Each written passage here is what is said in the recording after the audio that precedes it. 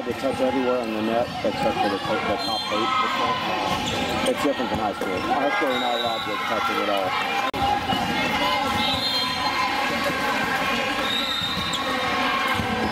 Oh, that was.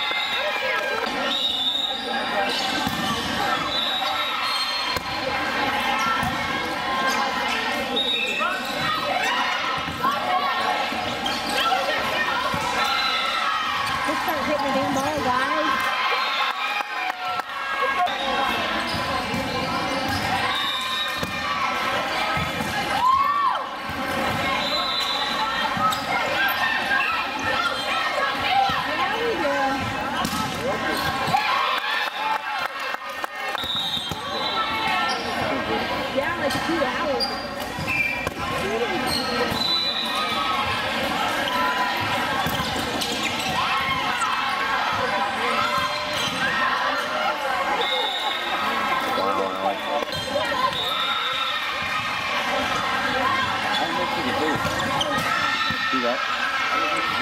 She can't. She was behind the 10 foot line, so she's allowed to. Go!